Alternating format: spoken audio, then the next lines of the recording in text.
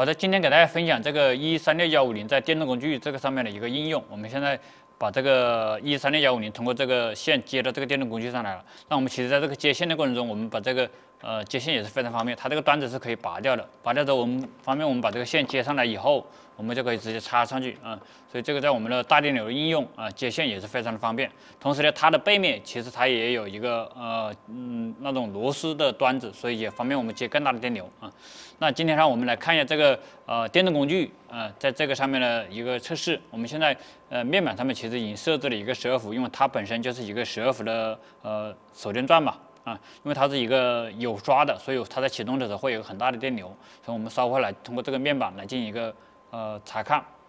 好的，我们可以通过这个面板上可以看到，我们已设置了一个十二伏的电压。那这个十二伏电压其实它的精度非常高，已经达到了五位半的精度了。但我们现在这个手电钻其实它也是十二伏的。我们如果通过这个呃按压这个手电钻，然后看它的一个电流，那如果我们通过眼睛去看这个值，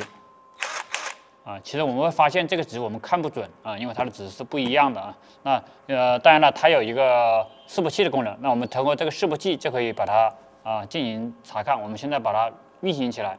啊，运行起来，然后我们通过按这个手电钻，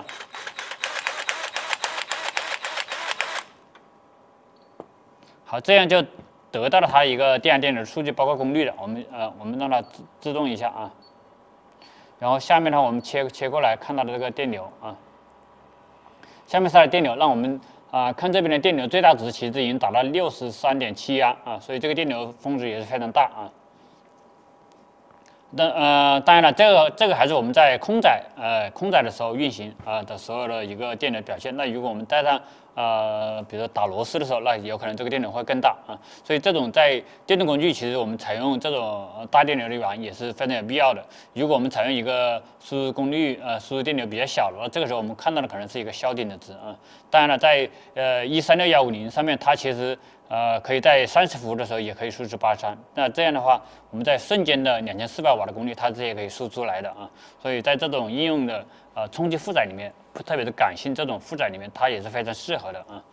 呃，对，然后的话，结合它面板这个呃示波器的功能啊，因为它也是一个 dead logo 啊，dead logo 加示波器的一个组合。那在这个功能里面，我们就可以很方便的看到它的一个波形了啊，就不用在在我们的面板上面，如果面板上面你通过这个。呃，电流指示去看的话，其实你看不到它的一个真真实值啊。然后它这里的话，因为它有它有光标，所以我们通过这个光标也可以看到它之间的值，包括这个呃，可以也也可以对它的值进行一个调节啊。两个光标的位置可以进行一个调节。那这样，比如我们想看到这一个周期的啊，那在这这一个周期里面，我们就可以很精确的看到它它里面的电压、电流的一个功率的一个变化啊。所以这个也是非常的方便，我们不需要再把示波器呀。接进来，然后再来进行查看啊，因为在示波器接进来的时候，呃，有时候可能接线也不那么方便，因为这个电动工具我们是直接采用夹子接到内部去的啊，啊，然然后另外的话就是我们通过示波器来进行查看的时候，示波器的分辨率还不一定有它高，因为它